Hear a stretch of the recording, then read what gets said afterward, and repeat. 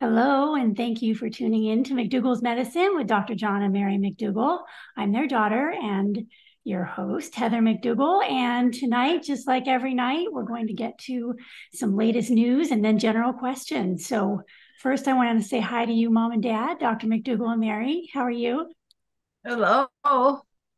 Great. We're just you. doing fine, Heather. You know, but we really look forward to our five o'clock sessions every uh, Sunday night at Pacific time. We'll get a chance to meet with you folks. And I hope you're spreading the good news because there are a lot of sick people out there, I'll tell you.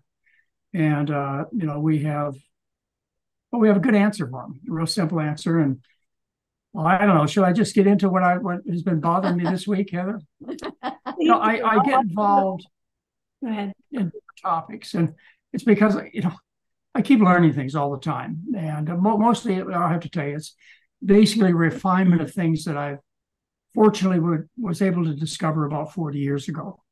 So I want to talk to you about a little bit about that tonight, and then we'll get on with questions. Uh, heart disease. Heart disease affects what half the population at least. And um, let's talk a little bit about heart disease. And I gave you some references there. Oh, I lost you. I got you there, Heather. Yeah, she's still there. Yeah. I'm here. Yeah, well, that's beautiful. I don't know what's going on here. anyway. Well, you're screen sharing, but I can't. So there we go. Perfect. Oh, okay, good. Well, I don't know. Sometimes, Heather, I think I need to go back to college. Can you see it okay now? Yeah, it's great. All right. So what I wanted to talk to you about is I, I was reading in the cardiac journals and I was reading about one of the dilemmas that uh, the cardiac business has, and that is finding the culprit lesion. You know, they're trying to find something to operate on to fix so that they can help people. I mean, doctors want to help people. What I want to talk to you about in the next couple of minutes is that by eating the Western diet, you cause injury to the arteries. And the response to injury is inflammation. Like you smoke cigarettes, your lungs get inflamed. You, you get uh, a sunburn and your skin gets inflamed. Red, heat, pain, warmth, signs of inflammation. And if something involves a foreign object, then the body takes and infiltrates the foreign bo- uh, object, the foreign body, like, for example, cholesterol and fat, get into the artery walls and it causes inflammation and injury and healing and so on. And posterior formation and scars and just a whole bunch of sick tissue the arteries are. Let's take a look at this. Let's see if we get this going here. Oh, here we go. This is what doctors see on angiograms.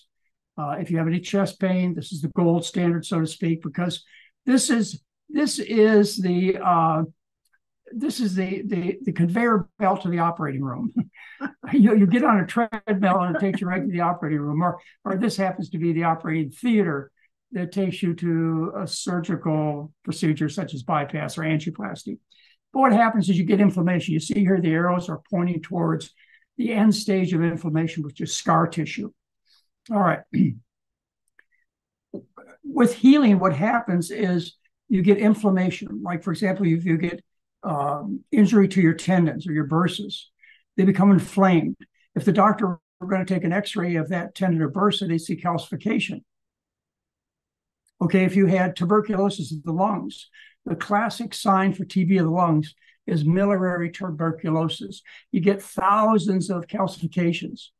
If you happen to have uh, injury to your breasts from the rich Western diet, your milk ductals, they develop calcification in the milk ductals.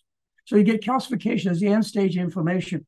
And what we're looking at here is calcification of the coronary artery on the right hand side of the slide. The, the, the, the bright white deposits that you see there are calcium deposits.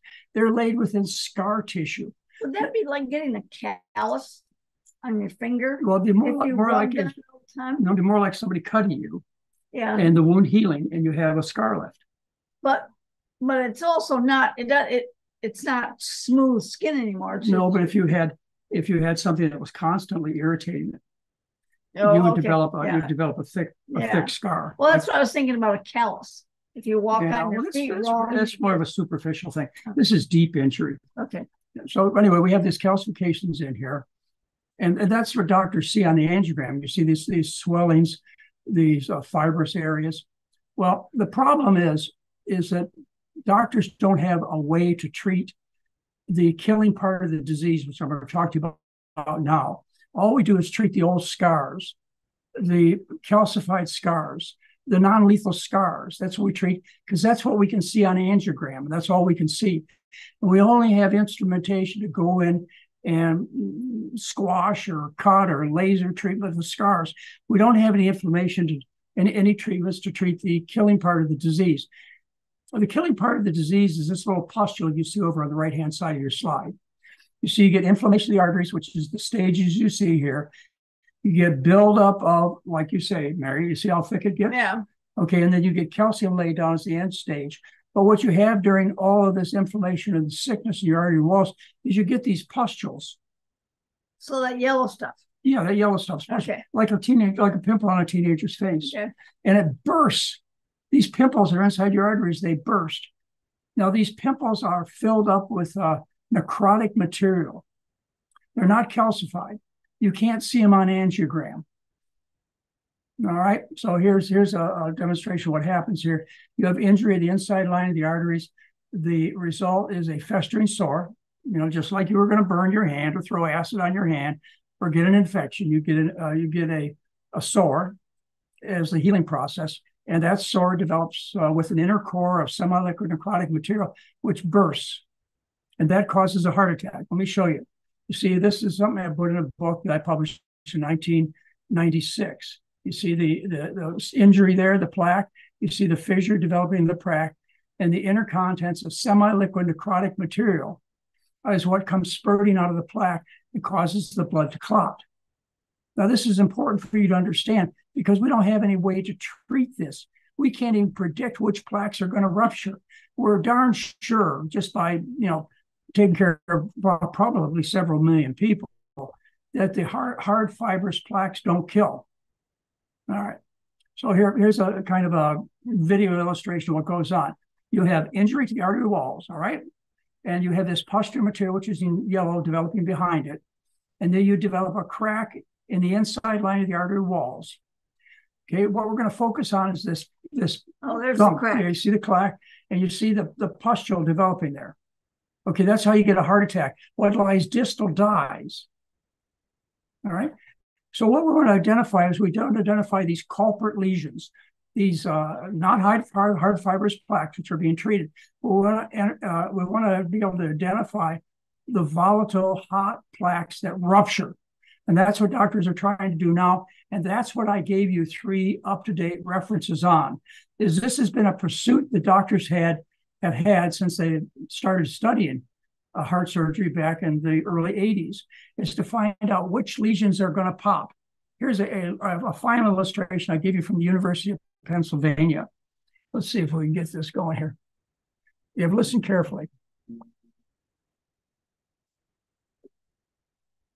In healthy coronary arteries, the blood flows without obstruction.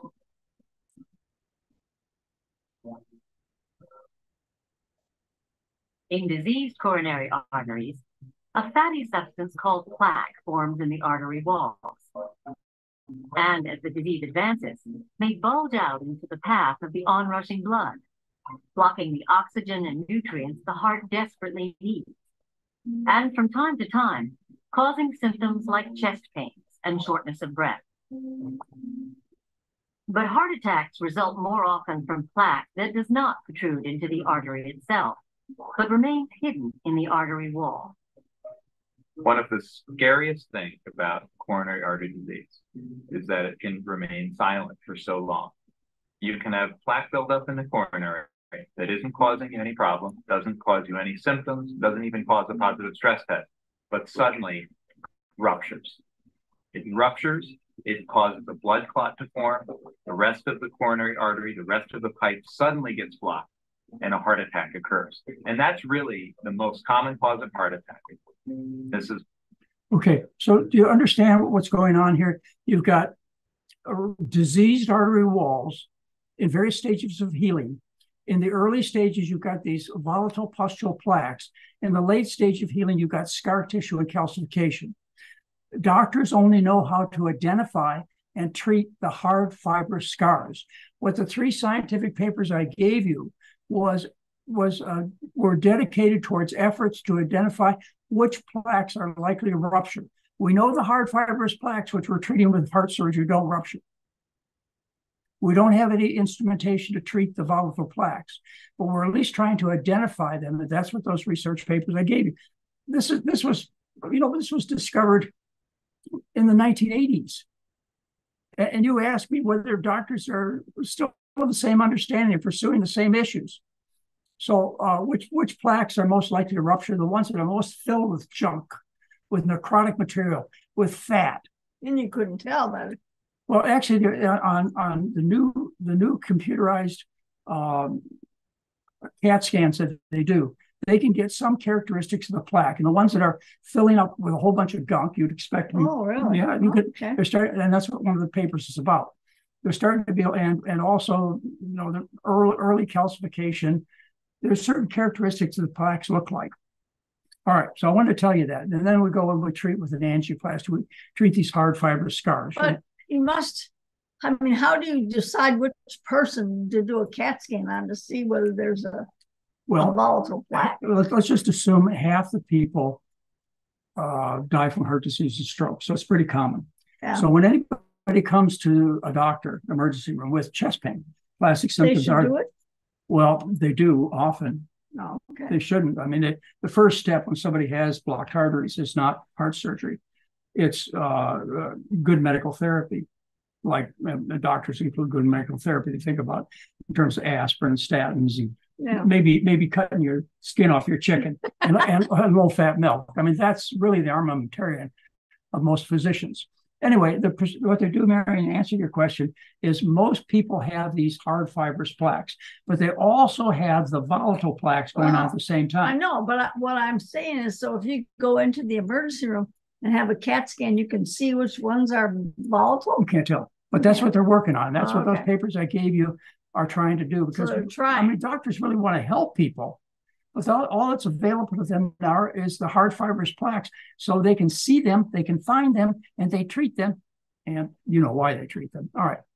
So anyway, we have multiple studies done. I'm going to go over them real quickly with you. You can run by the video afterwards and look up the studies. You'll see that I'm I haven't left any out. These are all the studies done on the results of angioplasty, heart surgery. We're talking about sticking a catheter up your leg into your heart, blowing up these hard fibrous plaques. We've got, and I'll go through quickly. The old study, no survival benefit, no reduction in death, no reduction in heart failure. We have the, the courage study, same thing, no reduction in death, heart attacks, etc. We have 12 randomized trials. Here's 14 randomized trials, 15,000 people, no benefit, no survival benefit. How are you going to get survival benefit when you treat the hard, fibrous, calcified, non lethal plaques? So all those stents they put in, they're worthless. Well, there's no survival benefit. But people, when they go to the doctor with chest pain, doctor, you have a treatment that'll make me live longer or better at least. Well, you know, half the time, this procedure can relieve chest pain. Okay. Okay.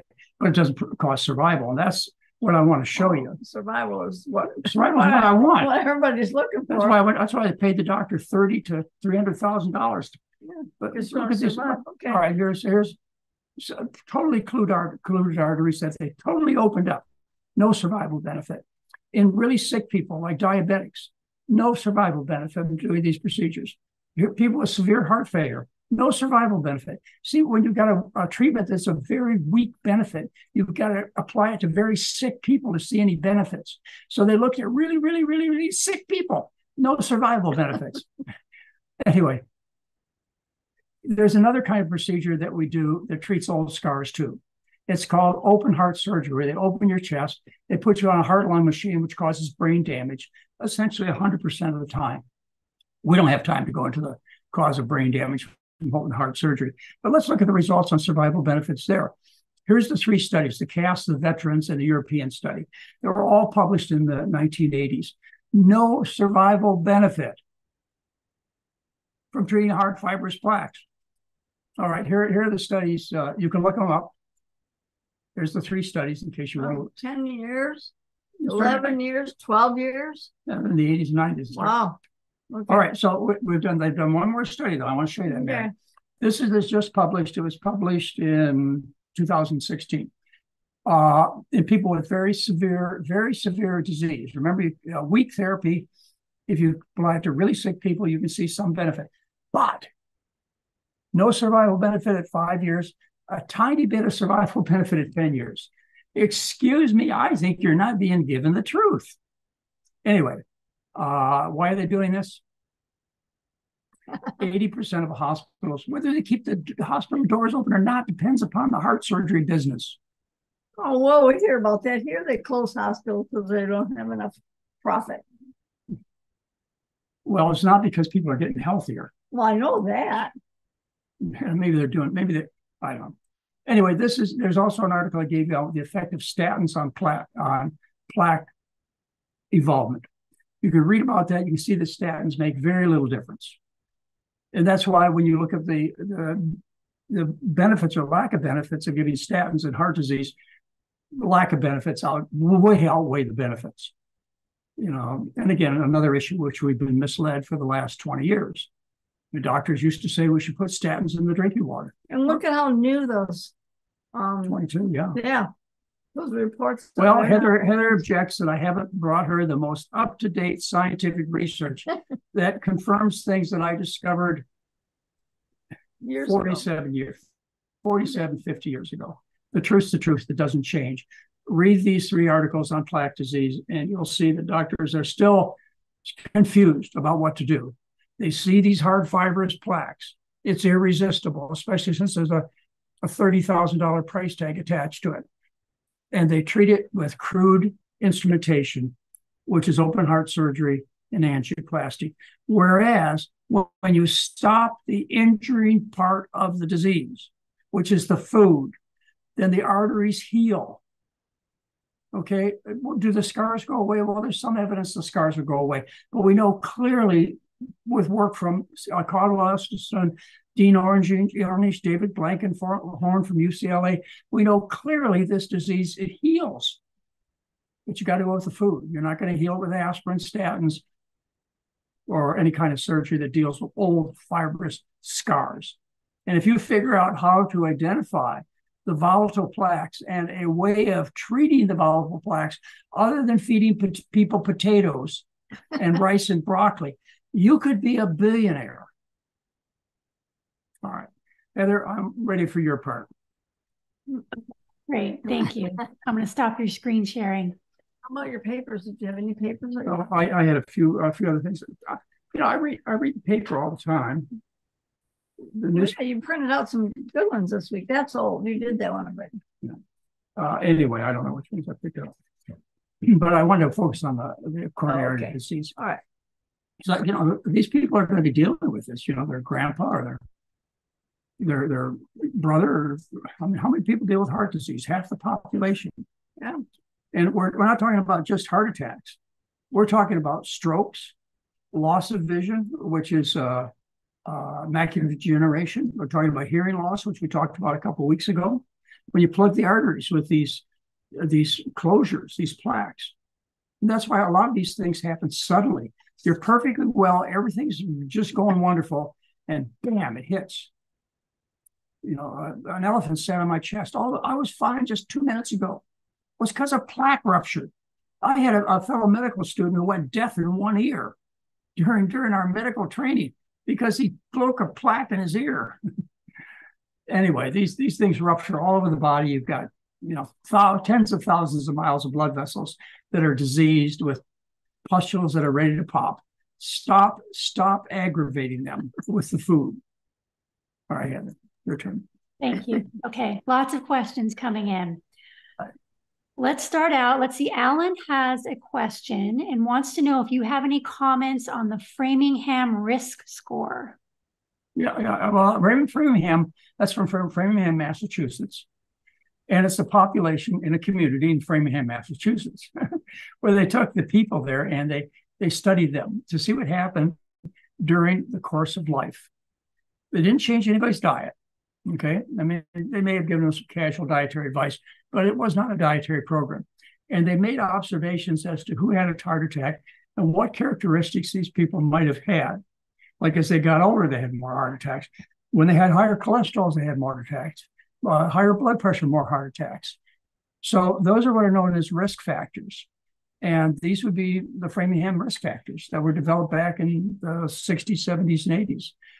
And you know that I, I use risk factors. You know, I tell you what, I don't ask you to treat risk factors. Remember, they're risk factors, not diseases. Nobody's died of high cholesterol. And I've been at this 55 years. I've never seen anybody die of high cholesterol. They die of rotten arteries from the bad food. Likewise, with high blood pressure, people don't really have strokes from high blood pressure. It's the rotten arteries that fail. You know, healthy blood vessels can stand pressures like 400 over 250 millimeters of mercury or 300 millimeters of mercury. Healthy vessels don't break. Sick vessels break. So, by treating the risk factors, the signs, the symptoms of disease, without treating the underlying disease, you don't get a survival benefit anyway, those are the Framingham risk factors. And by the way, out of Framingham, and they say that I was the one that made this observation, but you could prove me wrong. Uh, when I was studying the Framingham data, uh, what I noticed was that no one had a heart attack with a cholesterol less than 150 milligrams per deciliter. You di- divide by 38 to get international units, by the way. So nobody uh, with a cholesterol less than 150 had a heart attack in the Framingham study. So I started talking about in places I went that you know, when people have heart have cholesterol 150, they're pretty much immune from heart disease, and that's been, I think, taken to uh, to a greater value than I really meant it to be, because people have heart attacks that have cholesterol less than 150. Yeah, we've heard of it. Yeah. Not many, but Well, sometimes what happens is somebody has a heart attack and they're sick and they don't eat. They go to the hospital and then they get the cholesterol checked. So that is part of the reason that you ha- you don't always see a, a, a high cholesterol with heart attacks because they haven't eaten three or four days, so their cholesterol comes down. But you know, cholesterol is a sign of disease. It's not the disease. You know, you can't treat signs and expect people to get better. Fever, fever is a sign of pneumonia. So if you give a patient aspirin and you lower their body temperature, but you don't treat the infection in the lung, guess what happens? They die with a normal body temperature. And it's the same thing with statins and other cholesterol lowering drugs. If, if you lower the sign, like the fever, you lower the sign with drugs like aspirin. If you don't deal with the underlying disease, you die. uh, that should make a lot of sense to you. Anyway, uh, these are signs. Uh, obesity is a sign. Uh, chest pain is a symptom. You know the difference between symptoms and signs. You know the difference, Heather? Well, Okay, no. well, I'll, I'll tell you, it was a trick I know you'll explain it better than I will It was a trick question. I just want if the signs are things you can see that, that you observe. Symptoms are things patients tell you about. You know, so people have signs and symptoms. So cholesterol is a sign. Chest pain is a symptom. Oh, learn something new on Sunday that. night, I right? won't forget. All right. Well, anyway, know that one either. it's amazing what you learn in medical school. so, uh, all right. Well, any, anyway, uh, next question, Heather. Okay, great. This is from Jody. She wrote in and she would love it if you could talk about lipedema. Like uh, lymphedema, L Y P H lipedema, this Oh, connective can't- tissue disorder causing large legs with overgrowth of adipose tissue. Okay, this is lymphedema, L Y P H. Well, no, she wrote L I P E D. I know, but it's not right. swelling of the legs, swelling the arms and the legs from having the lymph system, L Y N P H. The lymph system plugged up, you get lymphedema. Lipidemia is when you have lipids in the blood. Lipids are fats. So that's lipidemia. And they wouldn't cause swelling of the legs. no, that's lymphedema. She, she, she thinks filariasis, which is an infection with an organism, maybe a parasite. A little filariasis, you, you can correct me on that one. But there's a little, there's a little worm or a little parasite that is in Africa, which infects the person and infects their lymph system. And you have the Elephant Man. Remember the Elephant Oh, Man? yeah. It was a big movie. Yeah. Uh, he had uh, he had uh, I forget what they call it. Uh, uh, there's a name for it besides Elephant Man, but he had uh, You want me to look filariasis. You to look up. Okay. Anyway, so you get lymphedema that way. The most common reason I see lymphedema is in the arm. The arm on the affected side where some meddling doctor got in and took the lymph nodes, which he or she shouldn't have done because there's no survival benefit from taking lymph nodes. And I can argue that the lymph nodes are there to defend you, to Yeah. prevent you from dying of breast cancer. And if you damage them or take them out, you reduce your chances of living. But anyways, they take the lymph nodes out, then you don't get any drainage, you get swelling of the arm. And how do you treat? Isn't that right, Mary? It's Proteus syndrome. Is that what they call it? I don't think. Yeah. That's new. That's Because the they- elephant man. yeah, Neurofibromatosis. That's what it's. but that's what they said. It, that's what it was. They thought he had that, but it turned out that he really had that. Oh well.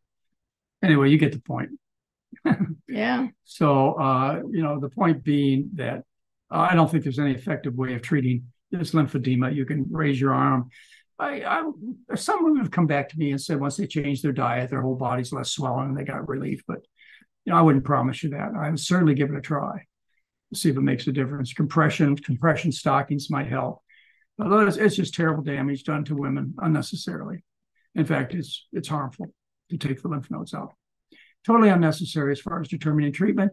Your doctors, your oncologists give you the excuse that they needed the lymph nodes to determine the hormone status of a woman.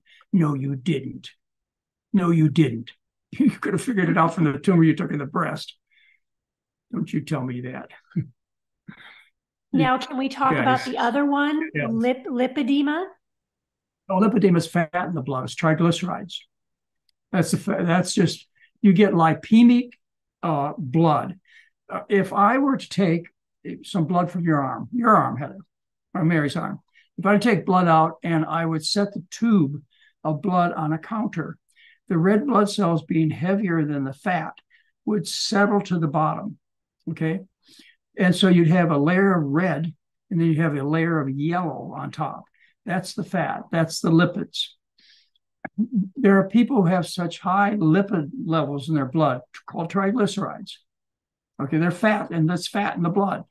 That when you draw the blood out of their arm through the tube, before you take the needle out of their arm, the blood has started to separate into fat and red blood cells right in the tube. That's how full of fat they are. This fat, you've seen the, the videos I've shown you about blood sludging. Okay, uh, it causes the cells to stick together. It drops the oxygen content in the blood by somewhere between 5 and 20%. It causes chest pain. And so, one of the fundamental treatments we talked about, uh, no, we've talked about it, we can talk about it again sometime, is a low fat diet stops chest pain. Chest pain is the indication for heart surgery because, as I told you in the beginning of this presentation, heart surgery doesn't save lives. so, why else can you do it? What other excuse do you give the patient? It relieves chest pain. Well, ladies and gentlemen, just stop eating the garbage and the chest pain will go away. It's a time honored treatment. Stop the lipemia. Where do you get blood fat from?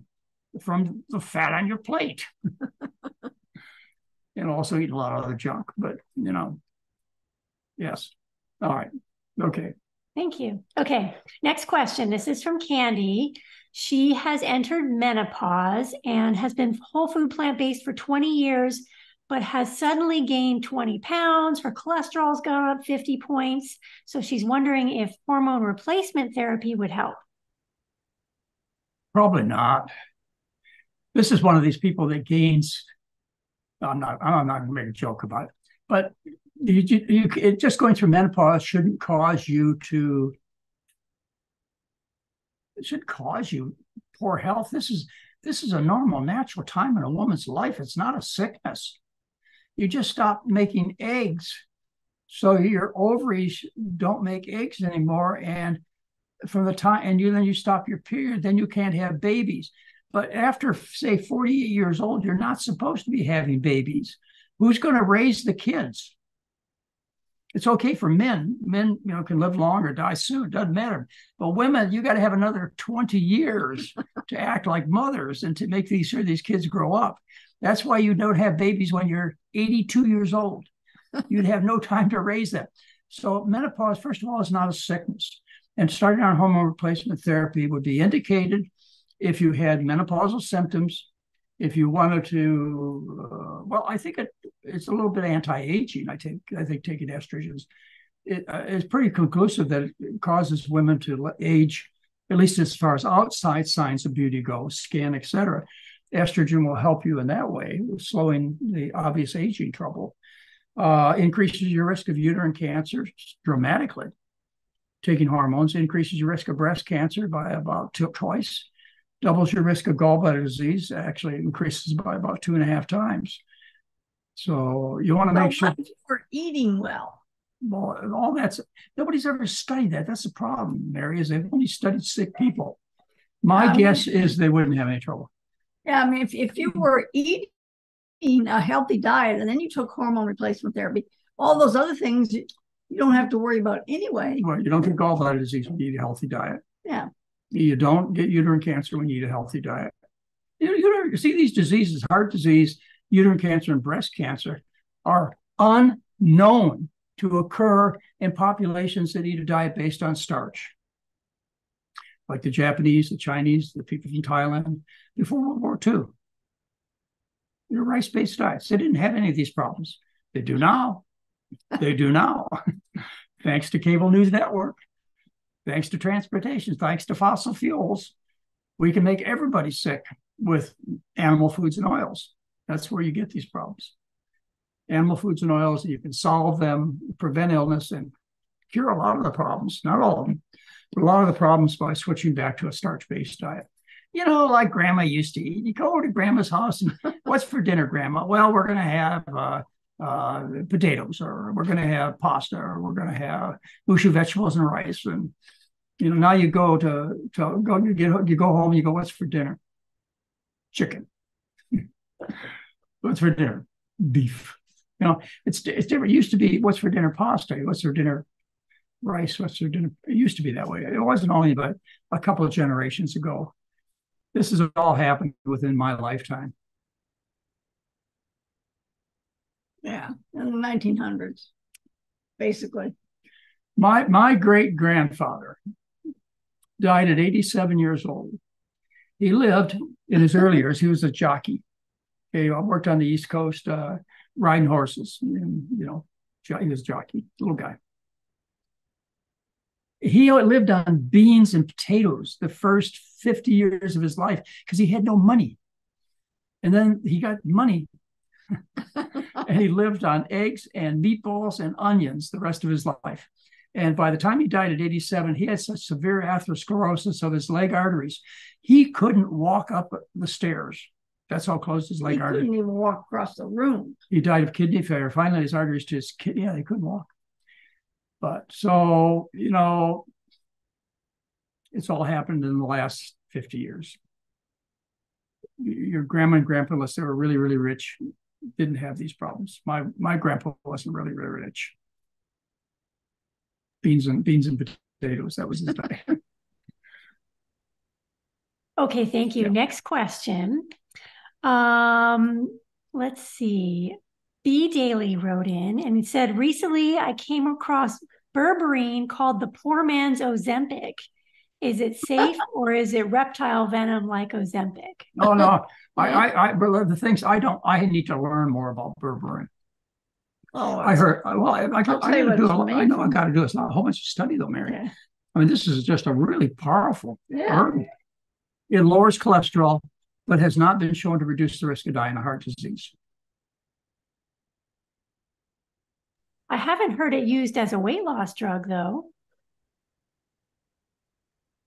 I don't know. You hear the train? No. Good. Oh, it's loud. they have this this special steam train that runs along the river. It's kind of like a Santa Claus thing, mm-hmm. and so they have a, the Santa train that runs back and forth across around the river. So we have to we have to work. work but my guess is, and it's only a guess based on not no science yet, because they haven't studied it. My guess is this is just a, a a, a powerful herb that deals with signs and symptoms. So, Uh, bitter tasting, yellow colored chemical. It might help strengthen the heartbeat. It might also kill bacteria, help regulate how, bo- how the body uses sugar. it's kind of like Ozempic. It does everything. Yeah. These new ads about Ozempic does everything. What's appeared in your local press? A couple of interesting things. One is that uh, that business has gone down dramatically because of Ozempic. People aren't buying the food, they're not buying the junk food, they're buying the groceries, they're not going out to eat. And this is this has a, a runoff, a spill. They're not as sick. They're not going to the hospital to the doctor as much. They're not buying as many drugs. Oh, Ozempic is a bad thing for the business. Because they'll have taken off the market for just that reason, probably. Maybe, yeah. Well, you know, you could, you could, you Ozempic was one way. Erectile poisoning is one way to do it. But you could also wire people's teeth together. Or what if there was no food? What if there was no food? What would happen? Everybody would get down. Heart disease would disappear. What would cardiologists do? Uh, there would be no no breast cancer if we had to change our diet drastically because of circumstances. What if people had to eat like rice? we do? No, not like us. We eat like kings and queens. What if people had to eat like they did in my grandpa's day or in your grandma and grandpa's day? What if there wasn't refrigeration? Just beans what if transportation wasn't there? What if the Suez Canal was was dried up and the Panama Canal and they couldn't they couldn't get all that goody goody to our door on time? What if that happened? We could see quite a change, couldn't we? We could. Yeah, really. you, you, and I would be passe. We, we, we, we have no place if if the diet changes in the world, which I have good reason to believe it's going on then Mary and I are out of business. I think, I think we'll be gone by then anyway. Fortunately, we live on rice, which is cheap. Otherwise, we're going to be in big trouble too. All right, Heather, I'm getting silly. We need to go on. Okay, next question. What do you feel about someone that loves to snack on oil-free pretzels? Uh, it's it's white flour, you know, it's salt. So not the best. No cholesterol, low not fat. terrible, but it depends on how, whether you make, um, you know, two percent of your diet salty, you know, no oil, no cholesterol pretzels, or you know, eighty-two percent. You know, that's a lot of empty calories. That's a lot of lack of nutrients, of phytonutrients. And I don't think that'd be a good idea. Probably you get beriberi just like they did when they refined the rice. You mean if they only ate white rice, white rice flour? I, would have to see what white rice flour is deficient in. But my guess is B vitamins and uh, maybe tryptophan. Uh, you know, the B vitamins would probably you probably develop a B vitamin deficiency if you just try to live on the majority diet as, as pretzels. But that's not what they're asking. They're asking them, just what few, about snack foods? I can I, food. I can do a little bit of anything and get away with it the problem I have, just like you folks, is I can't do a little bit. I either do it or don't do it. And that you're, you know, Mary's kind of a moderate person, and uh, she would have likely lived in good health, a little heavier, but in good health uh, uh, without me. Not me though. I needed Mary to kind of calm me down, put things in perspective, and make me a little bit more moderate because because I was intent before we met on smoking, drinking, and eating myself to death. I did a pretty damn good job of it. At 18, I had a stroke.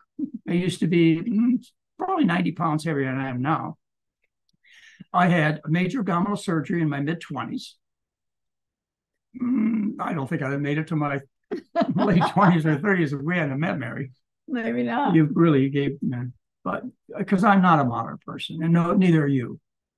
Okay, that's why you're in trouble you know, part of it is you may have listened to the wrong people. The other is you're, you're the kind of person that gets a big bang out of life, like me. I, I'm a great, great double A personality. I just go for everything, a thousand percent.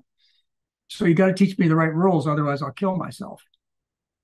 You teach me that booze is good for me because it will reduce my risk of dying of heart disease. Guess what? That's all I'm going to listen to. You tell me if I smoke cigarettes, I'll exercise my lungs. That's all I'm going to hear you know, it, we're we're just terrible. Human beings are terrible. Uh, well, I think we can guard against some of our na- natural behaviors. if we have the truth, if we have the information. But if we're lied to, we don't stand a chance. You're being lied to. It's the food. Thank you. Okay, next question. This is from Sunshine. She has non Hodgkin's lymphoma and is wondering what the best diet is. Well, the best diet is our diet. Uh, non Hodgkin's lymphoma is, well, let me, uh, there, there's no dietary cure no, anyone knows. Uh, the True, True North has recently taken care of somebody, I believe with, a, a, a lymphoma and whether it was non-Hodgkin's or Hodgkin's, I don't know, but they published a study in the British Medical Journal. True North uses our diet without salt and sugar, but they also fast people. It's a water fast. So that's the only positive thing I can tell you about diet. True North got a, um, a cure enough so that it got published in the, one of the major medical journals in the world, British Medical Journal. And that was through water fasting and going on our diet. Uh, but I would look, I would certainly, I would look into the science and see what the outcomes are as far as present therapies for non-Hodgkin's lymphoma. I don't know what they are these days. I haven't looked at it. But I would be real careful about looking at that science before I accepted therapies. What causes non-Hodgkin's lymphoma? Let me tell you about a guy named Alan Cunningham, published in the Lancet, I believe in 1979. You can look it up uh, Alan Cunningham. Alan Cunningham, he came out with the idea that lymphomas were due to overstimulation of the immune system by animal protein, particularly beef protein and dairy protein. Alan Cunningham, Lancet, 1979. Okay, so the way what he did is he told a story about Dennis Burkitt. You've heard me talk about the Burkitt diet, the Burkitt lymphoma. Dennis Burkitt was an Edinburgh, Scotland surgeon I've talked to you about who went to Uganda, Africa. In Africa, he discovered something called Burkitt's lymphoma. Pretty cool, huh? He got this lymphoma named after him. Burkitt's lymphoma is due to overstimulation of the immune system, the lymph, lymph system, by constant parasite attacks by malaria parasites through constant, there, there's chronic infection of malaria in that part of the world. So through chronic infection and dealing with these parasites all day long, the immune system gets overtaxed and breaks down into Burkitt's lymphoma. The analogy that Alan Cunningham carried on from here was that eating cow protein, particularly focused on dairy and beef protein, the, that protein acted just like the parasites overstimulating the immune system, causing it to break down into lymphomas. I think that's pretty cool. Anyway, uh, again, a, a dietary disease. Get rid of the beef, get rid of the milk.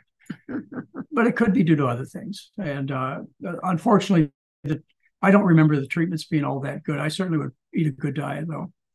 But if they're good treatments, take them.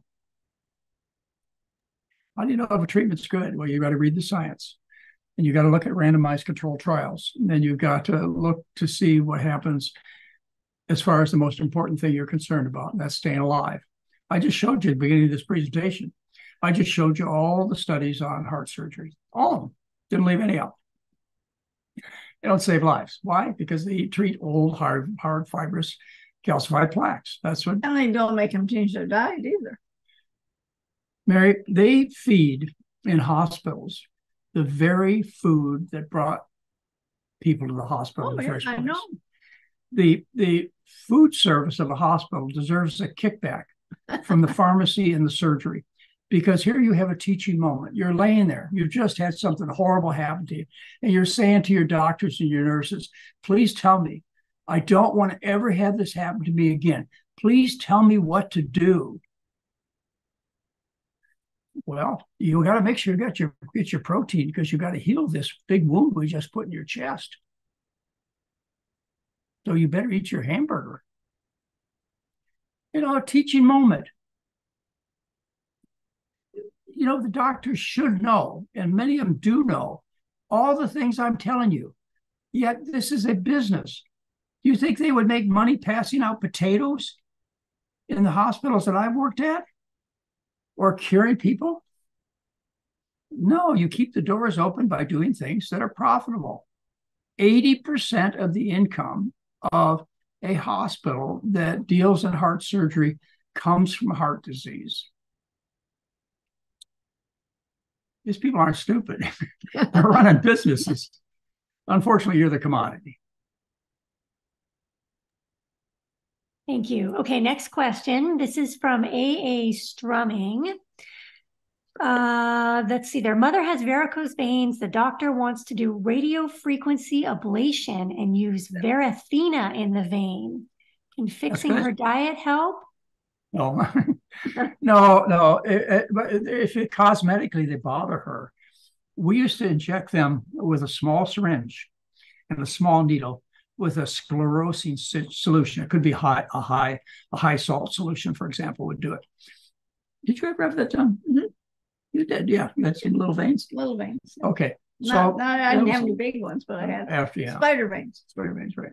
So you inject these little veins, and this is a similar procedure. It's a sclerosing effort to take and uh, damage, destroy these tiny little blood vessels that are protruding from your skin that you don't like. Have it done. Laser will do it. There are several treatments for cosmetic reasons, but don't have it done for your health. You know, treating those little veins is okay, but we used to treat big veins. And Mary, you you've been on these surgeries where they uh, oh well they just strip the whole vein out. tell them, tell them what they Mary, oh. Mary's a surgical nurse. that was terrible. Tell, do you remember how they did that? Well, they open up a little part of the um like by the knee and then another part down by the ankle. Oh, you remember more than I do. and, and they would take grab, they would cut the vein and stitch up the end. Yeah, and I, they I remember that strip part. that whole piece of vein right out through the ankle. You want to talk about lymphedema? that's just, yeah, just this is actually awful. a venous problem. Uh, they, they pulled it. It was you got this big long. It's like all the side of a garden hose. You know, it's like depending on how tall the woman is. It's usually a woman you've got you've got like four, five, six feet of garden hose. They just stripped out of your leg. Where do you think the blood gets to go now? In little tiny veins. It goes in little tiny veins. And guess what? You get more superficial varicose veins, and you get a swollen leg and pain and a lot of other things. They don't do that. I don't think they do that anymore. They do that? I don't know. It's been a long time, so probably not. Maybe they have something better. More more profitable. oh, maybe. I don't know. You know, the, the goal is to maintain as good much good health as you can. And to reverse much as much disease as you can. Then unfortunately because you know we've been, not been living by the right set of rules. Unfortunately many, many of us have scars from our old habits. You know if you knew me i'm 76 years old now but at 18 years old i had a massive stroke. I lost the entire left side of my body and you know through my through my life i did okay. I flew airplanes. I sailed ocean go with sailboats. I sailed the windsurfer. I was never very pretty. I i would ski down black diamonds but you didn't look at me saying look at the skier and say boy he looks good. He looks horrible. I hope he survives get down the hill. It's, it's been a real handicap for me for well since i was 18 but that scar won't ever go away. All right all right. So my mother believed that eggs and chicken and beef were important for calcium and protein. And, you know, she's still alive today. I'd be careful about her seeing this video, but she's not. she lived to be 93. 93. Yeah, I think so. Anyway, uh, she she felt terrible after I had my stroke at 18. Every time she'd look at me, she, she I know she thought I did this to my son. Well, mom, you didn't know any better. And your parents likely did the same thing to you. Now you know. Don't do it to your kids. Don't do your grandkids. So you're left with scars. What I was trying to say is because uh, on unfortunate information, we're left with scars, and these scars sometimes maintain themselves. We lose, lose hearing, one ear, lose an eye, stroke, heart attack. So anyway, I, have done okay. But I guess what the reason I've gotten to this point is that now that I'm 76, I'm losing a little bit of my, you know, previous reserve. Uh, I don't think I'd get back on that windsurfer. I don't know they'd let me fly an airplane anymore. I think they would. So, you know, I'm getting old, folks. Catch me while you can. So I don't know how we got on that question either. I don't either. okay, next question. Do you have any positive? Gary wrote in. Gary wrote in me an email. He's doing amazingly well, but he has a friend who has polycythemia, polycythemia vera. Yeah, polycythemia vera. Uh, again, you're you're reaching back in my career. Oh, I never heard It's, of it's an autoimmune disease, Well, of course. polycythemia vera, and poly, uh, it refers to colored pigmented lesions that occur related to the blood vessels, I believe on the leg mostly. And, uh, you know, like most autoimmune diseases, it's caused by what you eat. So I would suspect that it's not going to go away. I'd expect this is one of the one of the remnants of damage that you have from your previous education. But Well, what if you change But- your diet? And then it might go away. Oh, No, you could try. Yeah, why not? If uh, There's no sense in believing that a virus causes polycythemia vera. I mean, we, we we learned that as a possible theory in medical school as a virus. We also learned it was an autoimmune disease, but we never learned that autoimmune diseases had to do with anything. But maybe a virus, maybe bad luck, maybe the wrath of God, maybe bad genes. Could be bad genes, or maybe something we haven't discovered. It couldn't be the food. Couldn't possibly be the food. You can eat anything and everything you want. Just eat a well balanced diet. Yes, you'll be okay. laughing, but people are actually told that, which is Oh, of course. Oh, yeah, that's the way I was raised. Just, just, and Heather, the real insult to me physically was for my parents to be taught that protein and calcium were the most important nutrients for them to feed me. When there's never been a case of either protein or calcium deficiency ever described in a human being on any natural diet, it doesn't exist. But industry's powerful. They got money. So anyway, you, you same thing. You had parents with that kind of education too, and your parents want to do good things for you. My parents went through the depression. They had to live on turnips and potatoes. My mother did. And she would have been one of those homeless people, my mother, that we see so often today, except for the fact that her landlord gave her family free rent, so they didn't have to live on the street.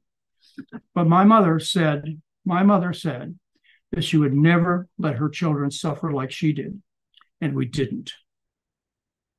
But we suffered because she didn't learn the right message. Well, they had no idea back then. Uh, no, not nobody, much. nobody was you know, back, was she born in 1920, something like that? Probably, yeah. Back then, we had, we had, uh, we had, uh, uh, Mikkel Hindhede from the Netherlands that knew there was no such thing as protein deficiency. You know, there were all kinds of researchers back Well, then. but they never talked about it in, in like women's magazines or Well, it's anything like because that. it's because just like today, it, you know, if you have the money, you can carry the message. The money carries the message, and if you believe differently, you're not living on planet Earth like I am. So, figure it out, folks. It, you know, they don't much care. Okay, next question. This is from Donna. Uh, can mild pulmonary hypertension be helped with diet? I think so. I think so. Uh, this is, uh, you know, there's every again, Heather. You know, I'm uh, you, you've known me for so long, like almost 50 years, but you realize that I'm like a broken record.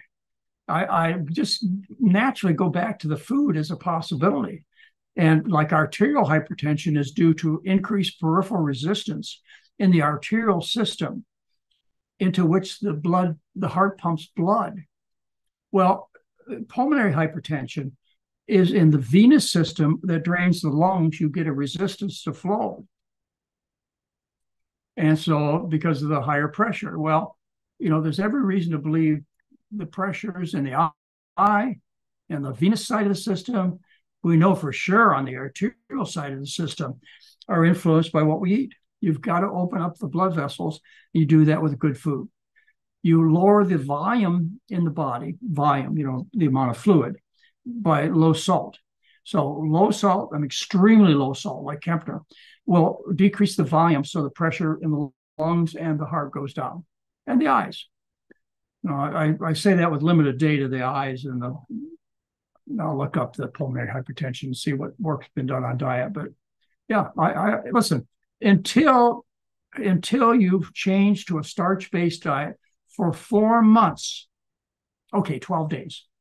Oh, maybe even seven. But let's let's make it fair, okay? Until you've eaten a starch-based diet, cleaned up your bad habits, gone for a walk, get a little sunshine for four months, do not declare yourself incurably ill because you're not, because you're not living in an environment that supports your health and healing.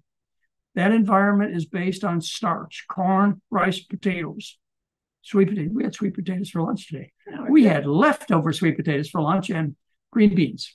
Yes, Yeah. So it was good lunch. they were good. It was good.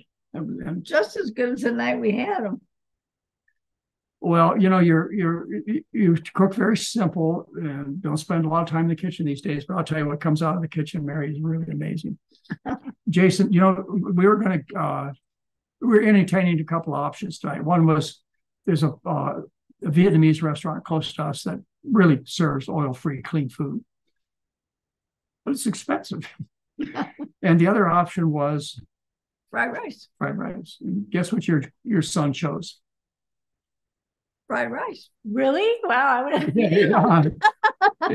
he, he loves Sausage, he loves the, the Vietnamese restaurant, and but yeah, he he wanted so after after this session today, how much time we spend on? Mm, About ten minutes. ten minutes.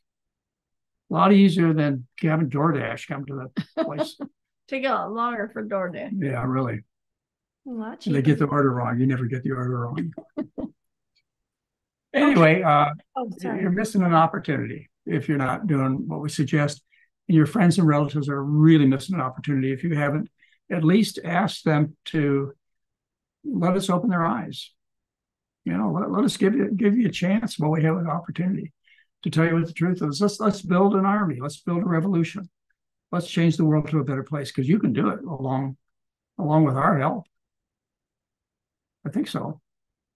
Sure like to try. No more than I'd like to, you know, have people save themselves and the planet. Okay, we've got a few minutes left, so I think I can I can cram a couple more questions in here. Cultivating Joy wrote in. She's starting out on the maximum weight loss program and wants to know what a s- s- serving is of fruit. Is it an apple, a whole banana? mm, Does it really matter? or a whole watermelon? Yeah. I don't know, just a Well, typical. usually say a cup. Yeah, you know, So that would be like an apple or a, one banana yeah, or I- I- um, I think one orange, most people know what a serving size half a grapefruit. You know, oh, maybe uh, like this many, whoops, Mhm. this many blueberries. I, I don't think that's a tough question to answer. But we, we've got sweet potatoes today that are probably two serving size. We got sweet Yes, potatoes. sweet potatoes. that big. And, and when we looked at them this morning, you know, I said, Mary, we could, we won't be able to eat even one of those between the two of us. Maybe, No, you, oh, we can. okay, one. But we got these three gorgeous, there's more than a serving size. It's two serving sizes. I'm sorry, I can't give you a more definite answer. Just kind of look at it. A banana's a serving size. A cup of fruit is a serving size. Good enough. Yeah. Yeah. Thank you. It's just like we tell you to eat, you know, I tell you to eat 90% of your diet is starch. Mary says 70 will do. You know, it's not that strict of guidelines. You just need to get the principles right. Animal foods and oils are poisons. They are killing you. Corn oil, safflower oil, canola oil, any fruit oils are killing you. Animals, whether they be their, you know, parts of their bodies like their livers and their muscles and their brains and their feet, or secretions from animals such as milk or blood. I would not consider a secretion or a body part. You know, they make they make they make sausage out of body- blood. Yeah, but you have to kill the animal to get that. You don't have to kill the animal. to Okay, get okay, the I take- secretion. I take blood sausages out of that category of secretions. We'll just leave that at milk. Well, they do. They make sausages out of the leftovers at the slaughterhouse. Come on, guys. You're right. Get Yeah, blood sausage. It's even Yeah. They let's even see. call it that, yeah.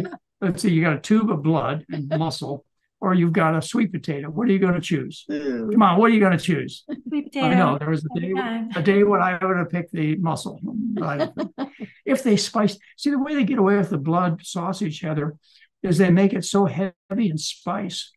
that you can't taste the rest. What, what is the, what is the joke? If, if, if slaughterhouses uh, had glass walls, no one will eat meat. Yeah. Or uh, you know, one, one thing you don't want to do is you don't want to go to a slaughterhouse to see your meal prepared.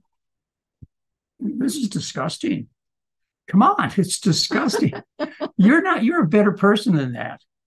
It's just like tomorrow morning. Tomorrow morning, I'm going to give a lecture for Chef AJ's group on low carb diets, and uh, you know, I the audience I talk to tomorrow morning at 10 o'clock uh, on Chef AJ's YouTube channel, talking about low carb diets. I'll talk to you about the disadvantage of low carb diets, how they, you lose less weight when you get the carbs out of the diet as, as opposed to keeping the carbs in. Kevin Hall's work. Kevin Hall was a guest at one of our advanced study weekends. He ruined uh, Gary Taubes' life by teaching this, uh, the big fat lie author, that he was full of what would he be Big full fat of? lies. Big fat lies. He- He's full of stuff because Kevin Hall proved it wrong. We're going to talk about that tomorrow. But one of the questions I asked, I showed a picture of uh, low carbers and what they eat. Why would you? How do you eat this stuff? I showed a picture of a slaughterhouse. Oh, pretty no. nasty. Yeah, pretty nasty. I also, pic- I also pictured a picture of a burning planet. How do you do this? I mean, you know, even if you're not concerned about yourself and your family, They don't think about it. You go to the supermarket and everything is all packaged up and it looks really nice on the shelves. And, you know, What does it look? I- You know, I, I want to question that from you, Mary. Who does it look nice? I, I, I when I used to go, to oh, it looks nice to people that are shopping for meat products. they like bloody stuff. Well, you don't see the blood. They clean it off, Yeah. put it in right. packages. We're out of time. You guys are going to go on and on and on about this. Gross. It's not our food. We definitely want to focus on starches, grains, legumes, vegetables, and fruits. Right. That's a much better way to end this hour. Much Listen, better. you- remember the fried rice. we're having a growing we're growing census for this five o'clock Pacific time Sunday evening discussion that the three of us get together and have with you. So you're telling your friends and re- relatives that at least tune in and see what John and Mary have to say.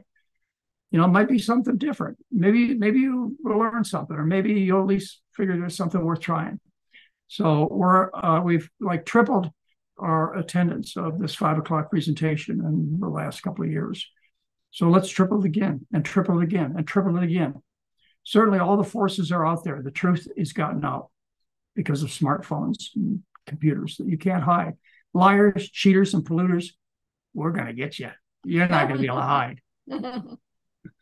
That was a fun hour. Thanks, Mom and Dad, Dr. McDougall and Mary. Thanks, everyone, for tuning in. We'll see you all next Sunday at 5 p.m. Pacific. Bye bye. okay, bye bye.